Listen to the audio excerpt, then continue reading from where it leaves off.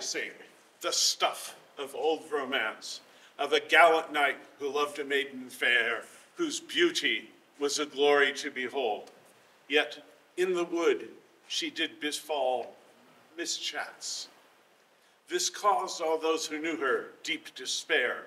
But our hero, who was strong and stout and bold, he swore that he would find her who was lost, and unto the fair forest dark he did repair to seek fierce foes unnumbered and untold, seeking for the one whose deed his grief had caused.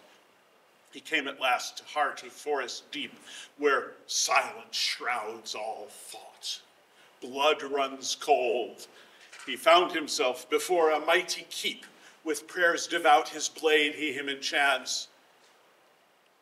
Attack he must this castle's evil host. He piles all his foemen in a heap, those who fed his wrath ere now are food for plants. From this story, listen well and now take care. The cost of love is seldom ever cheap. I've entitled this, this story A Fop's Fable.